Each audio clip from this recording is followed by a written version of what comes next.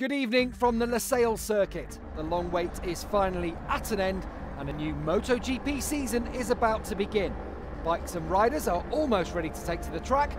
The Moto3 race at the Qatar Grand Prix will start in just a few minutes.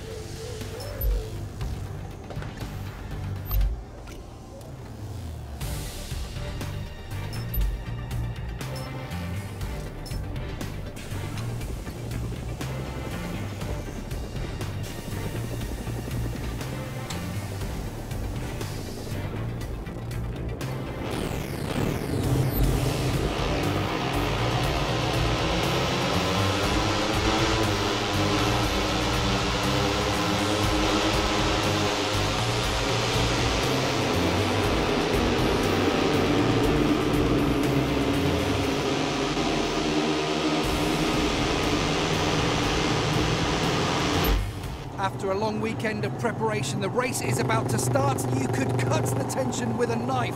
But all that matters now is who gets across that line first.